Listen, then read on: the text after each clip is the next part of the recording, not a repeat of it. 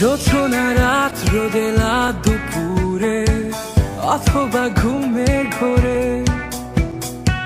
কাছে আসার কল্পনা